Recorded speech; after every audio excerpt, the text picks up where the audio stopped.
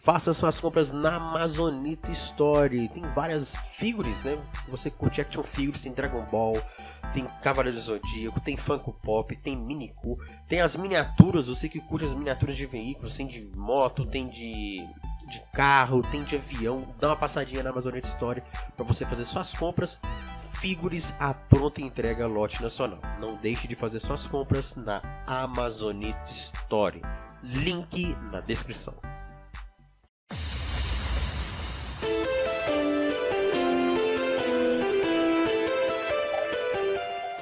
Fala galera do Call of Duty Revolution, estamos em mais um vídeo e um vídeo que já era pra ter feito há muito tempo, mas acabei não fazendo.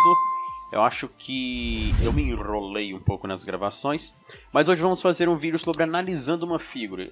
Para quem está aqui no canal há, há mais tempo, até nos últimos meses, né, eu passei a fazer esse analisando a figura. Né? Eu pego uma figura específica, Quero fazer isso com Dragon Ball também. O único Dragon Ball que eu fiz foi o Goku Imagination Works. Goku quebra a perna. E foi legal, mas eu quero fazer isso com mais figuras de Dragon Ball. Como é que eu faço esse vídeo? Só para explicar, para a gente depois ir. Eu pego, às vezes, algum vídeo review ou imagens, né, fotos feitas por colecionadores, etc. Geralmente as primeiras, os primeiros reviews, as primeiras imagens é, dessa figure e vou analisando, vou dando a minha opinião. O que, que eu acho, a primeira impressão que dá, certo? É, é como se fosse uma continuação do preview e depois tem a opinião final que é o review. Então, vou estar tá trazendo aqui para vocês, analisando a figure Sandcloth Myth X Sage Pegasus V3X, que foi lançado agora no finalzinho de maio. Uma figure que teve muita polêmica, né? Quando foi sair aí. Mas antes de mais nada, se inscreva no canal do Cloud Revolution, deixa o seu like e comente, tá? Sobre o vídeo, o que, você está achando aí, o que a opinião tá batendo. Então vamos lá. É, a gente sabe que esse Seiya deu uma grande polêmica, porque quando saiu aquela imagem do protótipo na Feira Tamashi, do ano passado, galera bateu palma, aplaudiu, curtiu. Foi anunciado oficialmente, né, mais ou menos no final, início do ano, é, saíram as imagens oficiais, vocês estão vendo as imagens. Lindíssima figura, o rosto bem desenhado, mais fino, realmente muito bonito, uma das melhores versões do Seiya de Pegasus. Depois, recentemente, antes, uns dias, uma semana antes dele lançar, saiu uma foto dele numa feira. Não sei se era Tamashi Fito, acho que é Tamashi Tokyo. É, e a galera viu que teve uma mudança, né? Muita gente falou assim, pô, ficou horroroso, ficou feio, que não sei o que, o rosto tá mais gordo e tal, não tá mais fino. E aí teve a galera que, galera que conhece de foto, de iluminação, falou, ó oh, galera, isso aí é questão de iluminação, a iluminação do evento é fraca, tá dando muita sombra e tá dando essa, essa ilusão de que o item teve downgrade. Depois que o item lançou, teve o review da Dan, distribuidora Animesh, também tá rolando aí pra vocês verem. Mostrou que a figure tá bonita. Teve um pequeno downgrade. Cara, eu acho que foi algo minúsculo, algo que dá nem para você perceber direito. Minha opinião. É, o rosto dele, em vez de ficar mais fino como imagens promocionais, né, imagens oficiais dele, ficou um pouquinho mais arredondado, mas nada que deixa a figure feia ou tem estragado.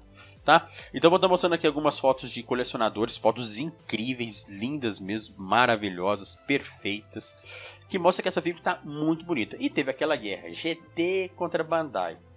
vou fazer um vídeo sobre isso. Finalmente eu vou fazer um vídeo sobre piratas é, alternativos, não pode falar de pirata não, que a galera não gosta não, é alternativo versus Bandai. Vou dar minha opinião naquilo que eu vejo, mas isso é um, é, vai, ser, vai ficar para um próximo vídeo. Então vamos lá. Cara, esse Seiya para mim, já peguei ele, tá chegando aí. Chegando, vou fazer o review da minha opinião final, veredito final.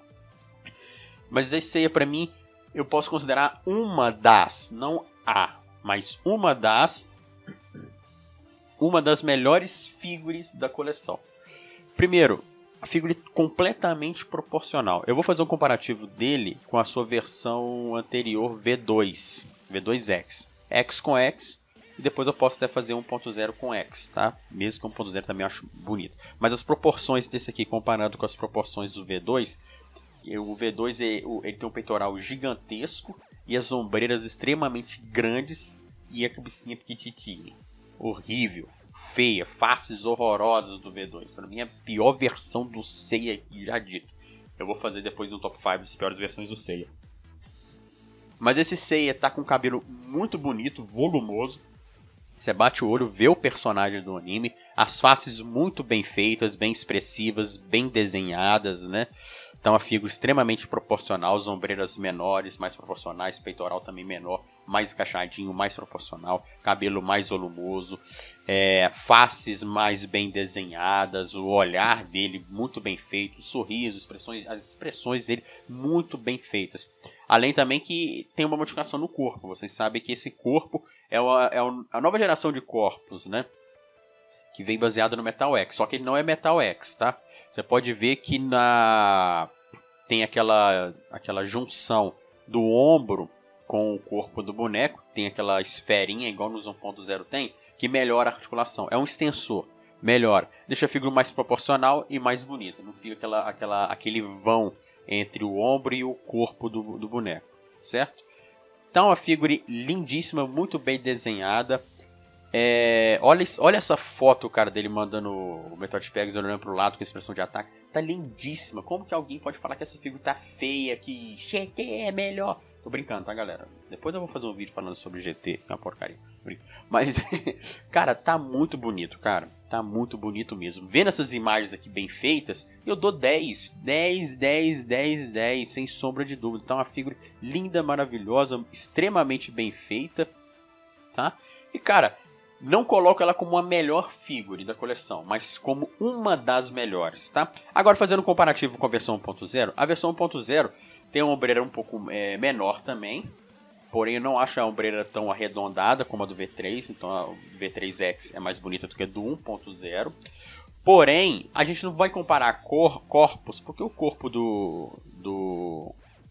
Como é que eu posso falar? O corpo do, do 1.0 é um corpo G2 mais antigo, mais feio, mais bonecão. Então aí, sem sombra de dúvida, o V3 ganha, óbvio, o V3X. Mas o Seiya, com a, o Seiya V1, o Seiya V3 1.0 com Appendix bate de frente com o Seiya V3, sem sombra de dúvidas. Porque a versão do Appendix é uma das melhores versões do Seiya 1.0. Uma das. Então fica bem pau a pau. É, eu acho extremamente ambos bonitos. Então tá aí. Meu veredito aí é nota 10, né? Aqui nas primeiras imagens, a primeira impressão que eu tenho. Essa pecinha das costas aqui bem proporcional, né? Que faz referência às asas, as asas extremamente bonitas, né? Cara, tá muito foda essa figura do CV3, tá? Tá chegando aqui em breve no canal. Vou estar tá fazendo um review dele, como eu fiz o do Hades, gente, do Shido também, que foi os itens que eu comecei a fazer as análises. Então vai estar tá chegando aqui em breve no canal do Craft Revolution. Se inscreva no canal, curta, Deixe o seu gostei, deixe o seu like, deixe o seu share, né? Compartilhe, deixe a sua opinião também, beleza? Se você gostou da GT mais do que isso, deixe seu comentário, por que, que você gostou, qual o motivo. Todo mundo aqui é bem-vindo ao canal. Quem gosta de alternativo, quem gosta de, de original, são todos bem-vindos. Eu só não compro alternativo que é caro pra caramba, beleza? Espero que vocês tenham gostado do vídeo de hoje. Fui!